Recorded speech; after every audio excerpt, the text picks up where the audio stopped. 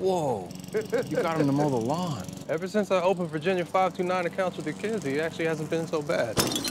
That garden gnome came out of nowhere. But he still has his moments. Tame the tuition monster. Visit virginia529.com.